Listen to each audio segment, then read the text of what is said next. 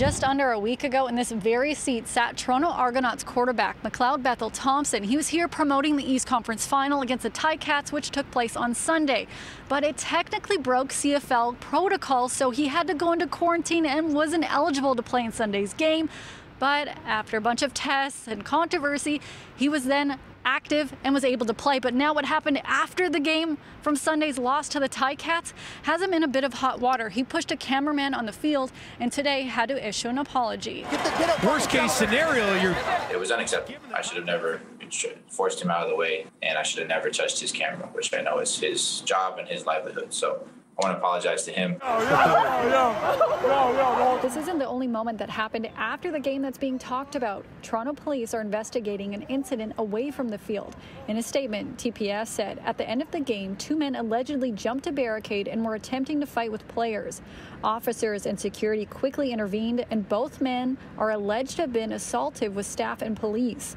As a result, both were trespassed from BMO Field and Exhibition Place.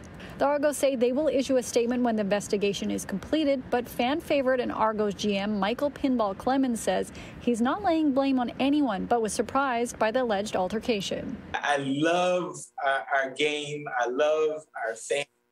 And uh, um, and this kind of incident is surprising, I think, to anyone. And at the passion uh, that's involved and the energy that was in the stadium, many times these things happen out of passion. They're, they're not out of intention or hurt. The Ticats are now on their way to the Grey Cup in Hamilton this Sunday to take on the Winnipeg Blue Bombers, while the Argos are left trying to figure out what went wrong.